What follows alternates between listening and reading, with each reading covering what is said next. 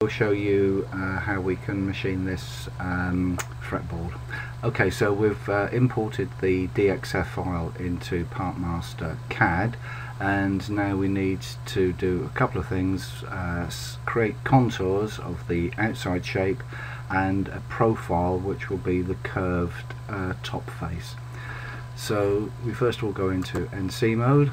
Now you can see where the datum is for this shape. Now if we needed to we could move the datum to a different position over here or at this other end or wherever you wanted the the datum to be but we'll leave it where it is for the time being. Uh, so the first thing we'll do is we'll create a contour which is for machining in the XY plane. Uh, and we'll give this uh, depth. Okay so that's created a contour of the outside if we also need to do something with this inside shape then we do that the same maybe with a different depth. Uh, okay so that's done that. Uh, and now we're going to create what we call a profile which is something which is happening in the Z axis. So we choose profile and we click on that.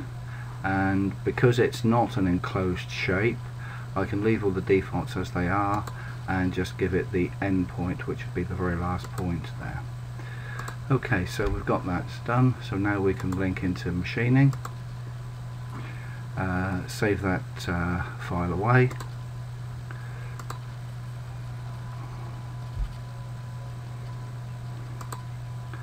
And this is the uh, file which uh, we've created. Uh, so first of all we set up a tool. So this is the um, tool that we want. So if we're going to be machining the uh, the top face first of all and then we use the select tool command to create uh, a tool change sequence. And then what we do then is we use the Z profile which is here okay? So I've created one of those. So what we do there is we first of all have to determine whereabouts we want this to be machined in the z-axis so I'm setting a work surface of minus 0.1 of an inch okay? Uh, now the next thing is whereabouts is this going to be machined? So the profile currently sits there. So what we need to do is make it so that the start point of the profile is there and it's going to be rotated through 90 degrees. So the start point is this left hand corner. So I'm moving that 5 inches in the x-axis and 1.25 in the y to bring it to this position here. The slot oops, okay I need to give that the name um, the slot we need to twist it around by 90 degrees and an important setting is the vector tolerance so this will con uh, control the coarseness of the cut so a finer tolerance will give a better finish but it will take longer to calculate and give you a bigger G-code file. Then we go into surface. So we're going to create a ruled surface. So the ruled surface is at 90 degrees to where the profile sits as it is so it's twisted round by 90 degrees. And then we need a linear distance between the slots and the total number of slots and then when we're doing this we can say machine uh, alternate slots in the reverse direction. Okay so let's just uh, run that so you can see what happens with that. Okay so you can see where that's being being machined which is in the uh, wrong position.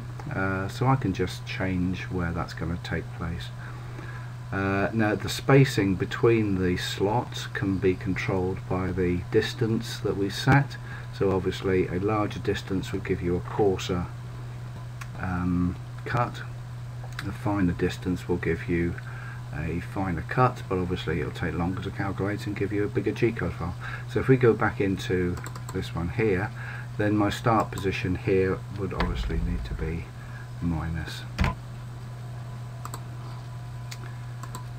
okay now you can see how that's going to cut that so what you might need to do is you might need to draw the uh, curved profile here uh, extended at either end so that it covers more of the, the actual fretboard itself.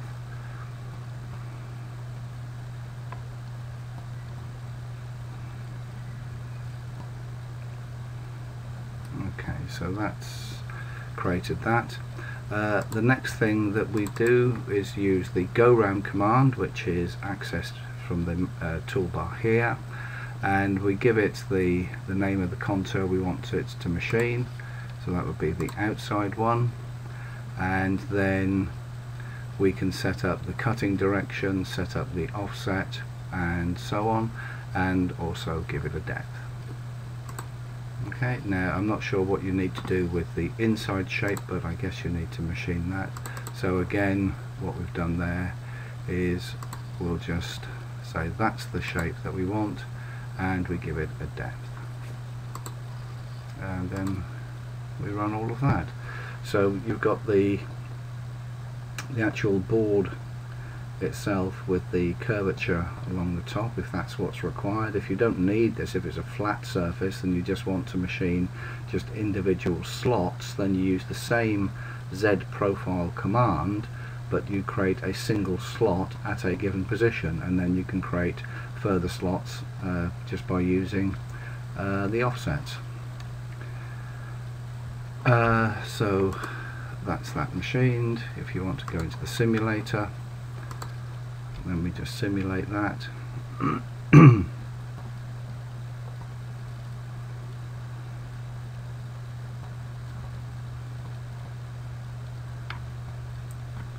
So that's just calculating the uh, the toolpath and then it will uh, link through to the machine tool simulator okay so that's creating the simulator data. Okay that's all done. Click OK. So now the simulator is being called up. And this is where we can set up the stock size. At the moment the stock size is being calculated from the uh, extent of the toolpath. So if we don't need to change anything then we can just leave it as it is. Um, if we wanted to do something else with the tool we could set up a different um, uh, sizes for the arbor and the holder if we wanted uh, to do some collision checking. But in most cases it's just the tool diameter which is needed. So uh, that sets up the simulated data calls up the uh, machine tool simulator and then passes it and we get the file. So this is just looking in the uh, view where we just have the um, material and the tool and then the uh, command, uh, uh, um, the controls are at the top here so we've got the run command here and then we've got speed up slow down button here. So we can speed up and slow down the simulation to see exactly what it's doing. Over on the right hand side here it's giving us the um, individual blocks that it's uh, simulating. Slider bar at the bottom here is showing us the progress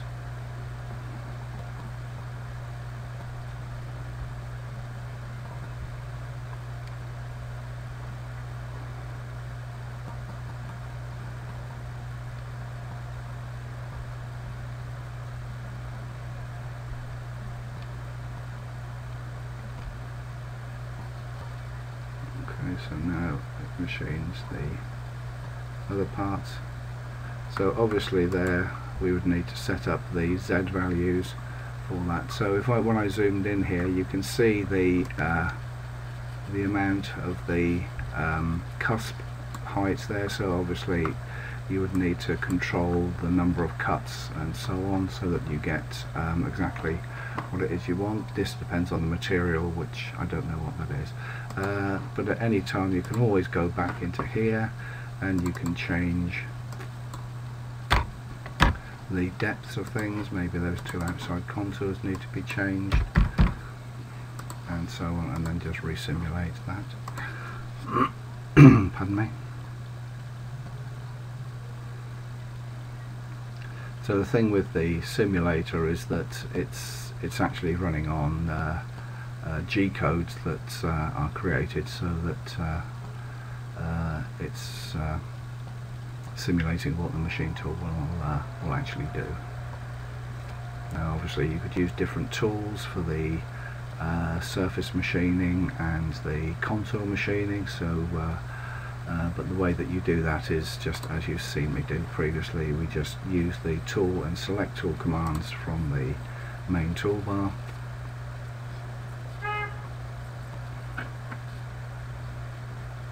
Okay so this time round what we'll do is we'll switch on the full machine simulator. So we're just working on a, uh, a standard milling machine. Now if he wants to at any time we can open up these doors to give us a better view. We can zoom in, drag, scroll down. This is all done by using the, the mouse buttons. And then we just simply simulate it.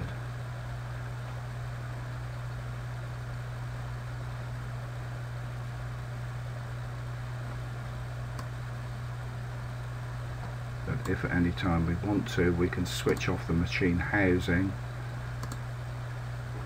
so that uh, we can see the table and everything else but we don't see the the extremities of the machine. It gives us a much better view.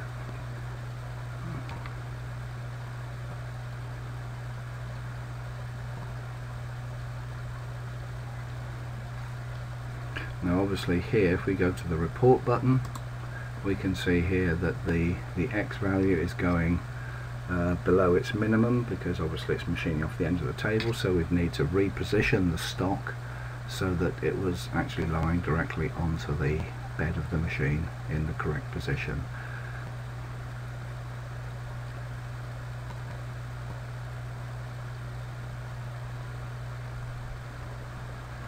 Okay so there we are